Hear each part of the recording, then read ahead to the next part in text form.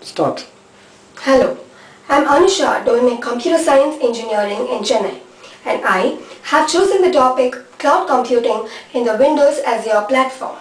What is cloud computing?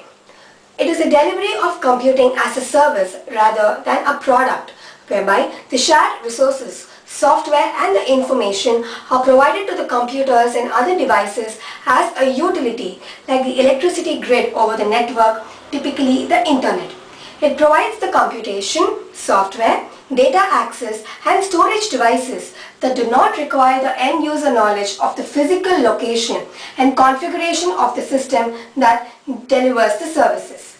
Windows Azure platform is meant for supporting the cloud applications. It is an application platform in the cloud that lets the Microsoft Data Center in the cloud to host and run the applications. The applications which are in the cloud are used by the consumers over the internet.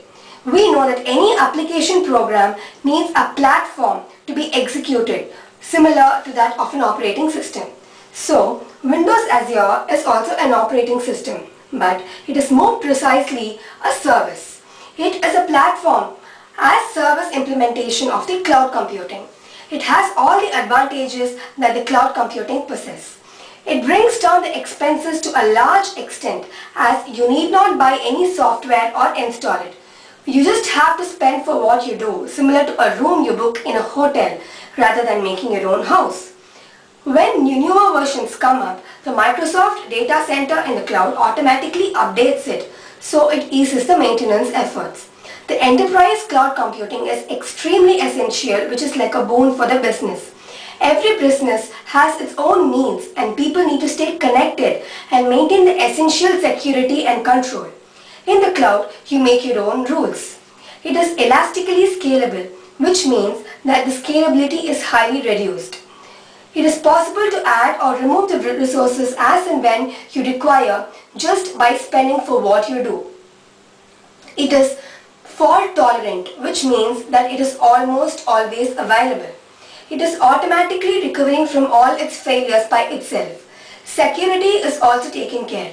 It is highly safe and secure on the cloud as the Microsoft gives you a highly reliable and consistent environment for it.